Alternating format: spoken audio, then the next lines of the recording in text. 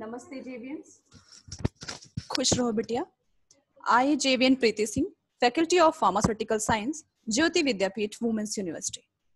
Today i will discuss about the topic response surface methodology. Response surface methodology topic belongs to the subject uh, research methodology and biostats for the b pharm 8th semester student. Now we come to the introduction of uh, response surface methodology.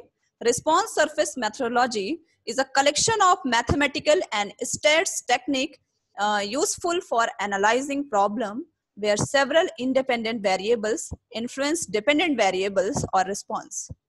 And the goal is to optimize this response. We denote the independent variables by the x1, x2, and x3, etc. It is assumed uh, that these variables are continuous and controllable by the experimenter with a negligible error. The response Y is the assumed to be a random variable RSM research uh, response surface methodology is used for the design and analysis of experiment. Uh, it seeks to relate uh, an average response to the value of quantitative variables that affect response. Response surface methodology answer different kind of questions such as the following. Uh, first one is how is particular response effect by a given set of input variables or uh, some specified reason of interest. And second one is to what level is uh, what level the inputs to be controlled to give a product simultaneously satisfying desired specification. And third one is uh, what values of inputs will uh, will yield a maximum for a specific response and what is the nature of response surface close to the maximum. So uh, this uh, these type of question related to the um, surface methodology and surface analysis methodology uh, response.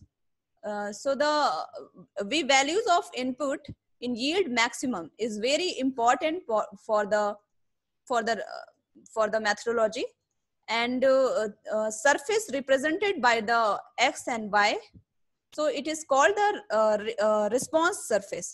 This surface is drawn between some response such as material removal rate and whose levels are denoted by the m, x, y, whatever, etc.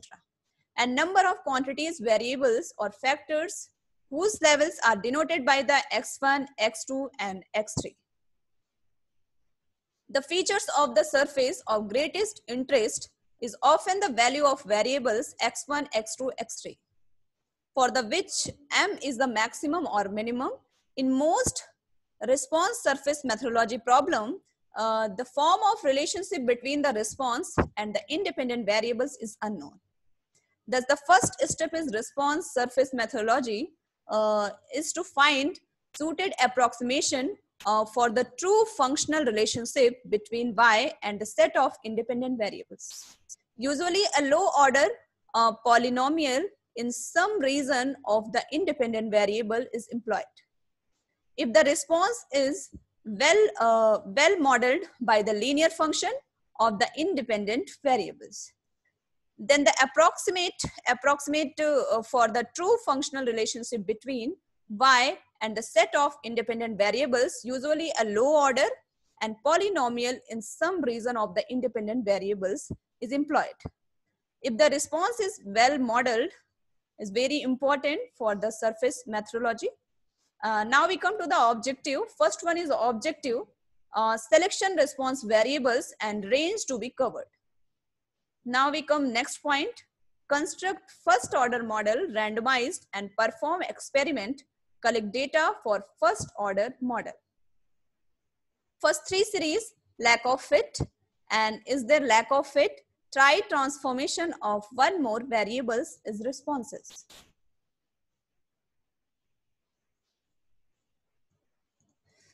So uh, this is the uh, this is the topic of the surface methodology and this method is very uh, least square parameter. It is very important for the first order design. Almost uh, uh, almost the response uh, method problem use one or both these models of course it is unlikely that a polynomial model will be a, re reasonable approximation of the true functional relationship over the entire space of the independent variables, but for a relatively small reason, they usually work. The method of least square is used to estimate the parameters in the approximating uh, polynomial. The response surface analysis is then performed using the fitted surface. If the fitted surface is an adequate approximation of the true response function, then analysis of the fitted surface will be approximately equivalent to analysis of the actual system. The model parameters can be estimated most effectively if proper design are used to collect the data. Design for the fitting response, uh, response surface are called response surface design. Now we come to the first order design. In this case, response surface fitted, fitted with polynomial first degree. So enumerate the first order, uh, first order design fitting a polynomial can be treated as a particular uh, case of multiple linear regression. Uh, these design do not provide uh, any estimated of the experimental error variance. This can be obtained by the replication of the whole experiment and by the use of an estimate from previous experimentation. If there is a uh, convincing evidence then error variance remains stable through time. So uh, if there is a no lack of fit and sufficient precision is obtained on the basis of this direction of steepest ascent and determine and exploration is continued.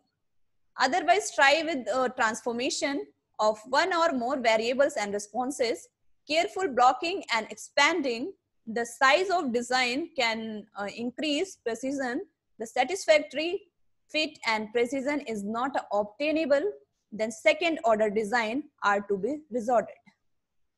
First order design and second order design are also used in the also used in the response surface methodology.